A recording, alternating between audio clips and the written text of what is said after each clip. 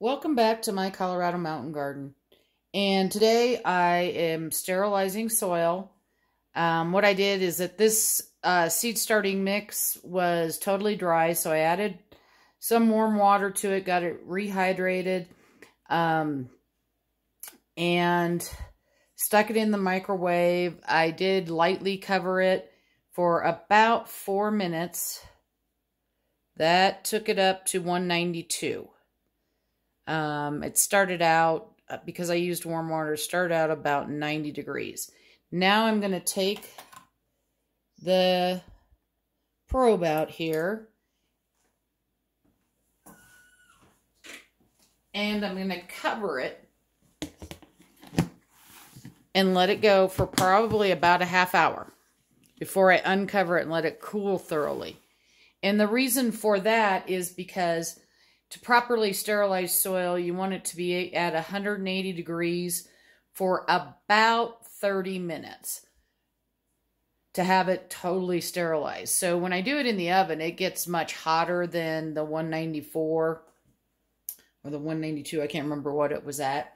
Um, and, but this is for small batches, like my seed starting mix. If I'm doing a big batch of potting mix, I do those in the oven and I let those cook.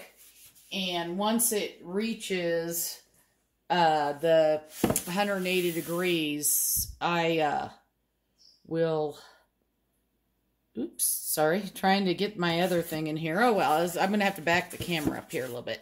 Um, once it reaches the 180 degrees, then I let it go for another, oh, probably 10 minutes in the oven. Then I pull it out. I do cover it with aluminum foil and I let it sit on top of the stove um, for at least a half hour so that it's totally uh, sterile. I have this little cooler. I know you can't really see it where I'm at. Um, I used to get my medicine in, in these little coolers. They use boxes now, so I just keep reusing this year after year.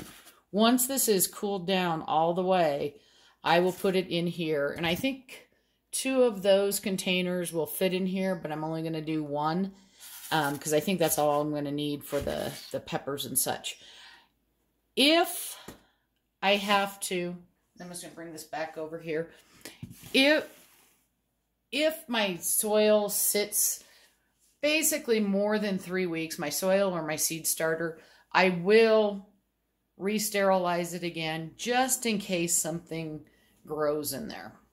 Um, I don't like my soil very wet. That's why I don't like using boiling water. Plus, boiling water only goes to, to 212 and you're not saturating the soil. So not all the soil is going to be at 212.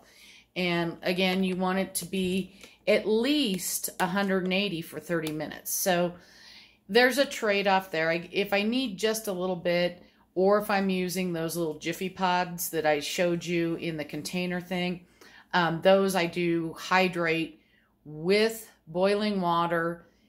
They're in the, the black trays, but I put the dome over the top and let it sit for a little while.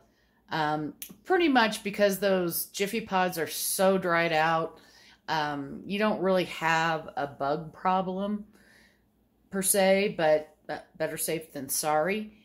I hope this explains this. When I get to the point where I'm actually doing soil, I'll kind of show you um, my trays. I use aluminum trays that I get, and I use them for the growing season unless they bend up too much.